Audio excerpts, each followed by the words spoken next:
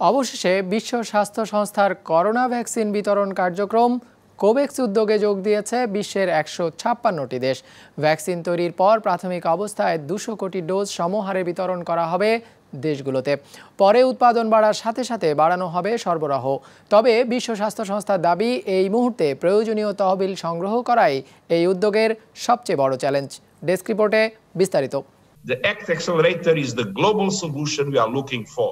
বিশ্বের সব মানুষের জন্য করোনার টিকা প্রাপ্তি নিশ্চিত করতে পনেরোই সেপ্টেম্বরের মধ্যে সব দেশকে বিশ্ব স্বাস্থ্য সংস্থার কোভেক্স উদ্যোগে সাড়া দেওয়ার আহ্বান জানিয়েছিলেন জাতিসংঘ মহাসচিব শেষ পর্যন্ত সেই আহ্বানে সাড়া দিয়েছে একশো ছাপ্পান্নটি দেশ যার মধ্যে চৌষট্টিটি উন্নত এবং বিরানব্বইটি নিম্ন আয়ের দেশ We are at a critical point and we need a significant increase in countries' political and financial commitment.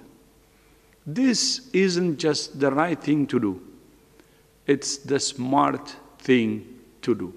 Covax উদ্যোগের লক্ষ্য দুই হাজার একুশ সালের মধ্যে দুইশো কোটি ডোজ টিকা বিশ্বব্যাপী ছড়িয়ে দেয়া প্রাথমিক অবস্থায় অংশগ্রহণকারী দেশগুলোর স্বাস্থ্যকর্মীদের এবং পরবর্তীতে ঝুঁকিতে থাকা ব্যক্তিদের এই টিকা প্রদান করা হবে প্রথম দিকে উৎপাদিত টিকা অংশগ্রহণকারী দেশগুলোর জনসংখ্যার তিন শতাংশের জন্য সরবরাহ করা হবে পরে ধীরে ধীরে এই হার বিশ শতাংশে পৌঁছাবে তবে সংস্থাটির দাবি এই মুহূর্তে সবচেয়ে বড় চ্যালেঞ্জ হয়ে দাঁড়িয়েছে উদ্যোগটি বাস্তবায়নে প্রয়োজনীয় তহবিল সংগ্রহ করা For the ACT Accelerator to work as planned, it must be funded. So far, 3 billion US dollars has been invested. This has resulted in a very successful startup phase, but it's only a tenth of the remaining $35 billion dollars needed for scale up and impact. তবে Covax কার্যক্রমের সফলতার পথে বাধা হয়ে দাঁড়িয়েছে। যুক্তরাষ্ট্রসহ কিছু উন্নত দেশে দ্রুত ভ্যাকসিন পেতে নিজেদের মধ্যে করা দ্বিপাক্ষিক চুক্তি। বিশ্বের সবচেয়ে বড় এই ভ্যাকসিন জোটের দাবি আরও আটত্রিশটি দেশ শীঘ্রই এই কার্যক্রমে যুক্ত হতে যাচ্ছে।